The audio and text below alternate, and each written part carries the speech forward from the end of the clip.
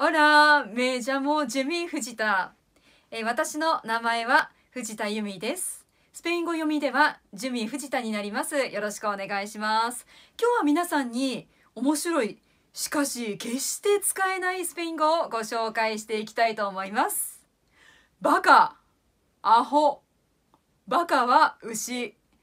アホはニンニクという意味です。どうもありがとうございました。